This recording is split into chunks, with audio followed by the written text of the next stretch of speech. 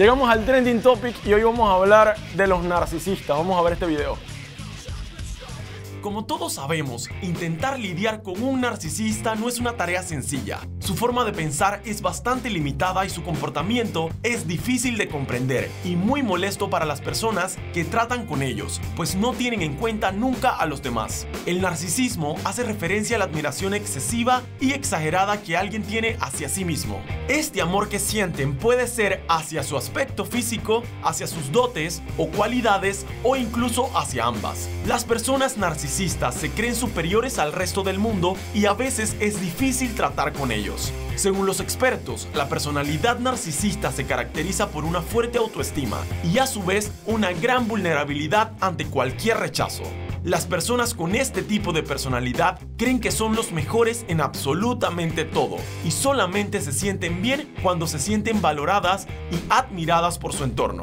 La felicidad de los narcisistas depende por tanto del aprecio y la estima que los otros expresen hacia ellos. Ahí está lo que es un narcisista. Íbamos a tener a nuestra especialista, pero no pudo llegar por problemas técnicos. Pero igual la tenemos el tranque, vía la verdad, el tranque. telefónica. Tenemos a Stephanie Vergara que nos va a explicar pues psicológicamente qué es un narcisista, cómo uno puede llegar a ser narcisista. ¿Cómo estás, Stephanie? ¿Cómo andas? Hola, ¿qué tal chicos? ¿Cómo están? Todo bien, todo bien. Qué bueno, eh, hablemos de lo que es el trastorno narcisista. Eh, como bien mencionaron en el video, los trastornos narcisistas son estas personas pues que tienen una necesidad o, necesitan sentirse reconocidos en exceso. El tema de la belleza para ellos es importante. Eh, siempre tienen que estar súper super reconocidos, perdón. Y es esta necesidad, ¿sabes?, de, sentirte que todo lo haces bien, que tú tienes lo mejor de todos, que tú eres mejor que todo el mundo, que tú puedes estar eh, siempre lo mejor, que tú yo, yo, yo, mejor, que tu casa es mejor, que tu casa es mejor. Entonces es esa necesidad de, ese, eh, de ser, de estar por encima de los demás. Sin embargo, de fondo esta persona también tiene sentimientos de baja autoestima, de sentirse vulnerable. ¿Por qué? Porque siempre tienen que poner en ah. evidencia las cosas que ellos tienen por encima del resto. Por ende, si te tomas con alguien que te critica o que te cuestiona, pues te va a pasar de que eh, te sientes vulnerable. Entonces tienes mucho miedo al rechazo, tienes mucho miedo a no ser reconocido. Eso, eso va ligado... Ah, ah, dale, dale, dale, pues. Eso va ligado a la clase económica, porque una gente pobre que no tenga nada como yo, yo no puedo ser narcisista, me va a decir, pero acá, mi hermano, si tú un loco viejo. No, no, eso no tiene nada que ver con clase económica, es un tema de reconocimiento. Tú tengas ah. dinero o no tengas dinero, tu casa es la mejor. Si tú vives en una chocita, tú necesitas que tu chocita sea la mejor que la del ah. vecino. ¿Y eso cómo llega a ser? O sea, ¿eso tiene algo que ver con la forma en que uno es criado? ¿Tiene algo que ver con, tal vez, que si tienes hermanos y quieres resaltar entre tus hermanos, cómo uno llega a ser o tener este trastorno de narcisismo?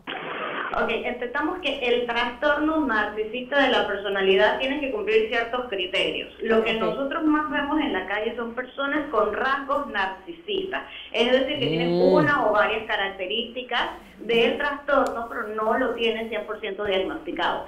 Mm. Entonces, ¿cómo sale? No podemos decirlo, pues etimológicamente no podemos saber de dónde surge el trastorno, pero sí puede estar ligado, algunos autores dicen que puede estar ligado al tema de la crianza pero no es lo mm. mismo querer eh, sobresalir en el grupo familiar en el que vives que, querer sobresalir en todo. Porque cuando tienes hermanos, por ejemplo, y eres el hermano del centro, el hijo sándwich, ¿qué le dice? Pues tienes que pelear por tu lugar.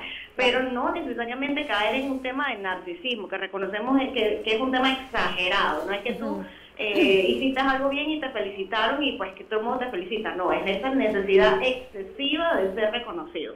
Y en los narcisistas que, que, que, lo diagnostican con el trastorno, ¿ellos logran ver esto en ellos mismos o son de esos trastornos que como que por más que la gente te dice que tienes un problema, tú no sientes que tienes un problema, entonces es difícil encontrar tratamiento porque no lo reconoces en ti mismo?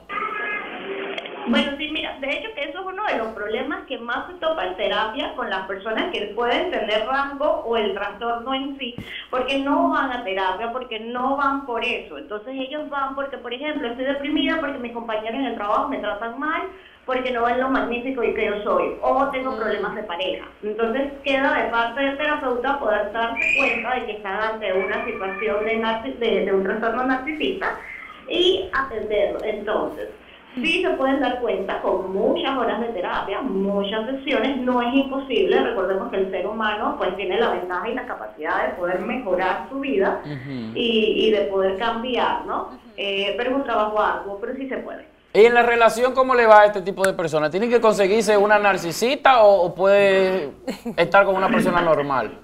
Porque si, si él es así... No es un tema de persona normal, no. Eh, por lo general, por la por los rasgos o los patrones de esta persona, necesitas a alguien que te adule mucho.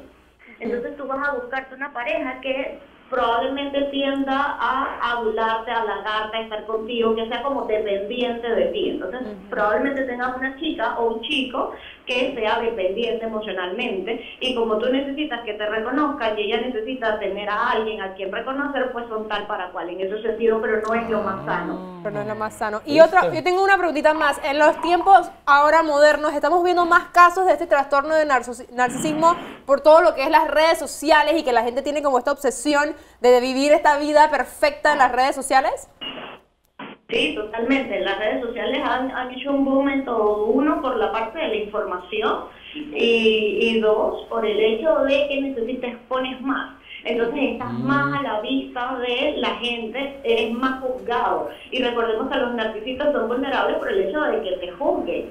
Entonces, pues necesitas invertir más tiempo en redes sociales, en tu Facebook, en tu Instagram, tomándote la foto que sea la más fantástica porque tú solo consigues lo mejor. Y entre más likes tienes, más refuerzan esta conducta narcisista. Y cuando no consigues los likes que son suficientes para ti, entonces eso les puede generar a ellos ciertos sentimientos de, de no ser reconocidos o valorados y eso va amarrado a una baja autoestima de fondo. Ah. Ahora, normalmente cuando hablamos de trastornos, eh, llegamos a ese punto es porque la persona de alguna manera u otra le está afectando su vida diaria. En este caso, como ¿cuáles serían los problemas que se puede encontrar esta persona en su día a día? Nadie quiere parquear con Simán. Bueno, eh, recordemos, un trastorno narcisista que, esté, que sea alguien que realmente tenga todas las características para cumplir con el mismo, puede tener afectaciones a nivel social, con los amigos, porque va a llegar un, momento que solo. no va a querer reconocer las cosas, no va a decir, bueno, tu carro es mejor que el mío, no, quizás el amigo tiene un carro más chévere. Entonces eso va a generar conflicto en la vida social. En la vida de pareja, en ese momento en que la pareja no, no cumpla con ese nivel de reconocimiento que tú constantemente necesitas, va a venir conflictos de pareja como vas a necesitar ser el centro de atención, ¿qué va a pasar cuando en el trabajo no seas tú el colaborador del año, sino que llegó un chico nuevo y ese es el colaborador del año? Entonces eso va a ir afectándole en diversos aspectos de su vida. Y ahí es donde esta persona tiene la capacidad de poder ir a buscar atención psicológica porque sí, sí les va a afectar y sí va a ser difícil y esas como las señales de alarma que vamos a tener los psicólogos y los terapeutas para poder trabajar y poder entrar por ahí y evaluar a ver cómo podemos ayudar. ¿Y eso tiene que ver con, con la madurez de la persona? No, mira, no es un tema de madurez, es un tema de que esos son tus rasgos de personalidad. Hay gente que es callada, hay gente que es más extrovertido, hay gente que son más rígidos. En el caso de esa persona, pues necesita reconocimiento. El tema es cuando va al exceso. Ahí es donde está mal y la terapia le va a ayudar a esta persona a que poco a poco vaya bajando esos niveles de necesidad de reconocimiento excesivo para ser un poco más funcional. ¿Y qué es lo recomendable entonces para, para, tener una... para llevar una relación de amistad o de noviazgo con ese tipo de personas? ¿Halagarlo obligado o dejarlo y no ser amigo de él, pues? Mira, eh, yo creo que a las finales todos somos diferentes y, y la belleza de la amistad es eso, no es tener amigos diferentes. Pero esa es mi opinión. Entonces, si tú te topas con un amigo que tiene estos rasgos, que necesita que tú lo reconozcas, que necesita que tú estés constantemente ahí diciéndole que él es lo máximo, y tú puedes vivir con eso, está bien. Pero si tú eres su, mejor amigo y tienen confianza, yo realmente exhortaría que le pudieras decir, eh, oye, mira, yo creo que está mal, mira que tú siempre estás estás tratando de, de, ser reconocido, ¿sabes? Mostrarle un poco la situación que ellos no están pudiendo ver porque ese es uno de los factores, que como no pueden ver qué está pasando, para ellos está todo bien. Entonces, si tú eres su amigo, tú pues vas a tener que vivir con la situación esta y, apoyarlo y llevarlo a que él vaya buscando la ayuda que sea necesaria.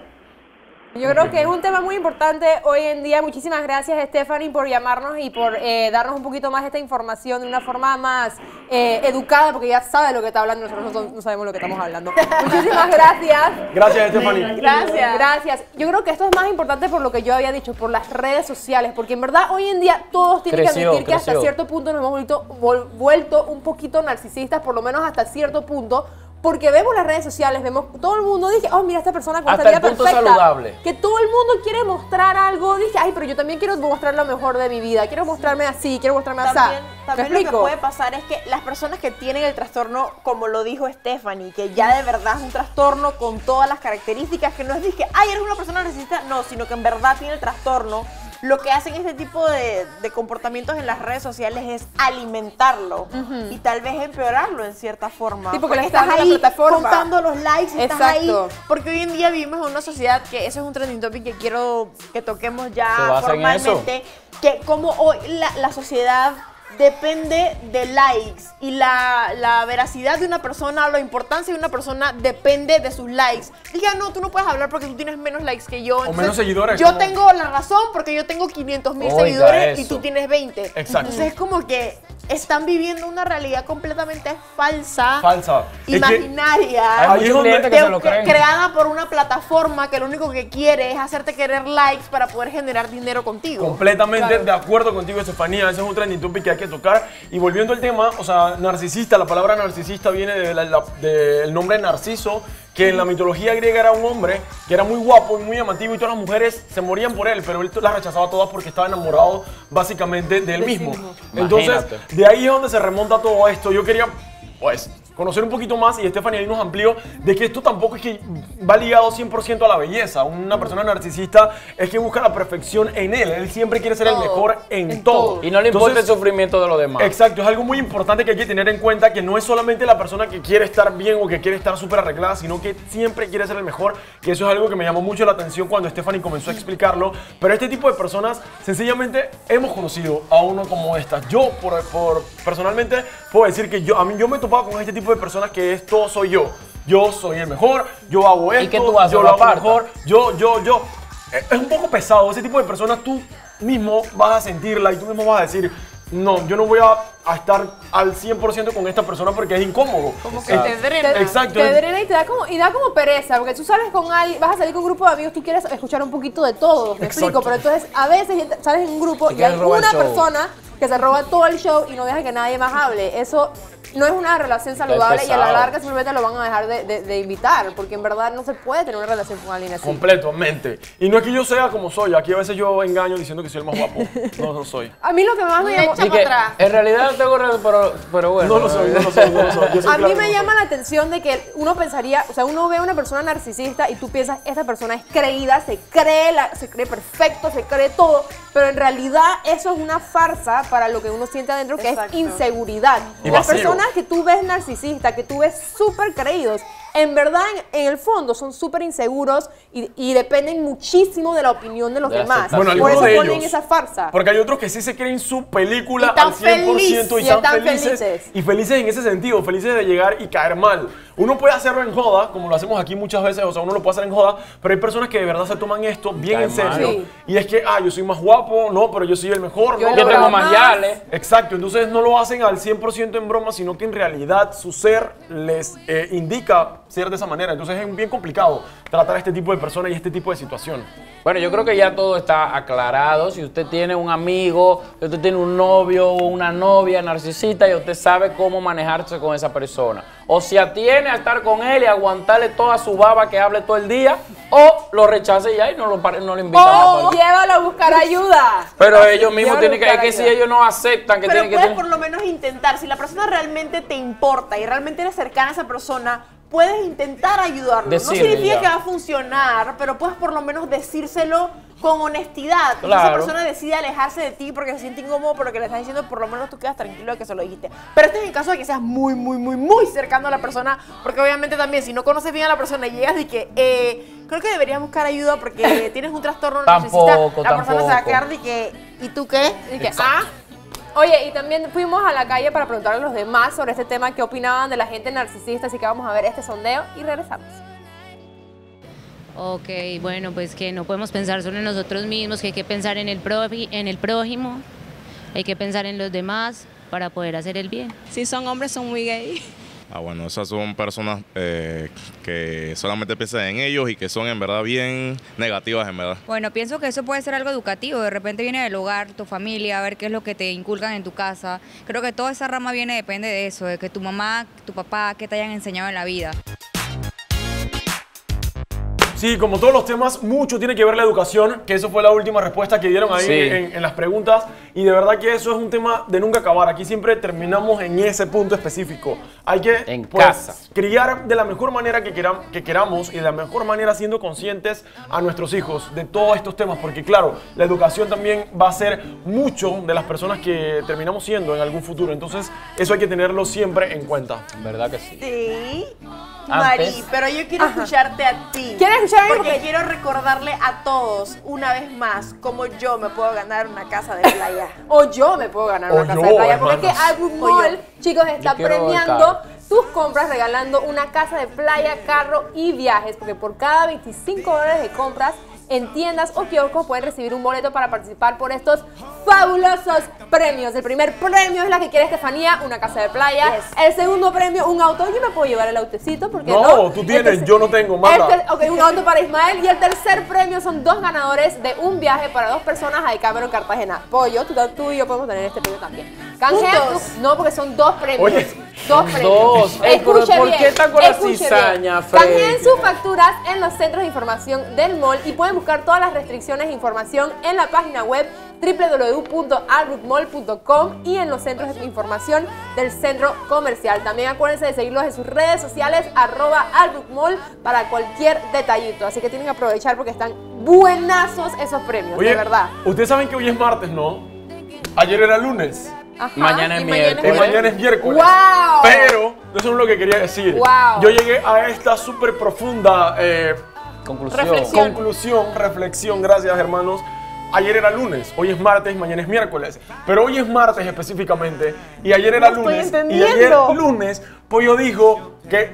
¿Era ayer? No, No. no. es que te metí la patada. ¡Cállate! No, no. no. ¡Cállate No esa ha dicho nada. Vámonos al cambio, vámonos al cambio. Este man. No he dicho nada, no por no favor, este man. Y'all